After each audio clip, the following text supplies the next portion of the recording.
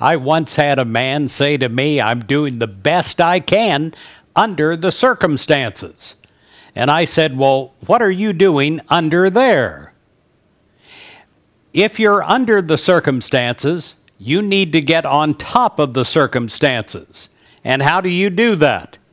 One of the greatest powers that we possess as human beings, a God given power, is the power of reversal.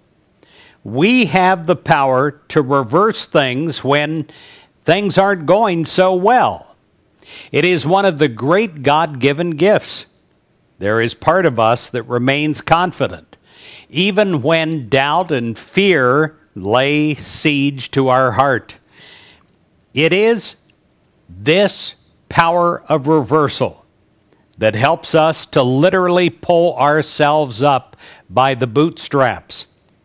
When the affairs of your life are not to your liking, you can refuse to become totally discouraged. Do you realize that most people don't? Most people get under the circumstances and allow all that weight and all that pressure to push them down, knock them out, and sometimes destroy them.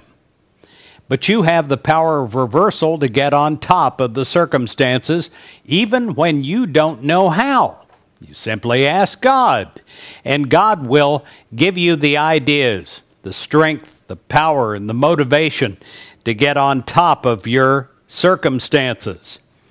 Remember that this power of reversal is in you as it is in everybody else.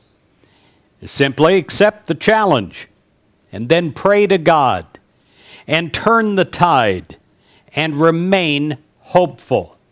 And you'll be sure, my friend, to come out on top.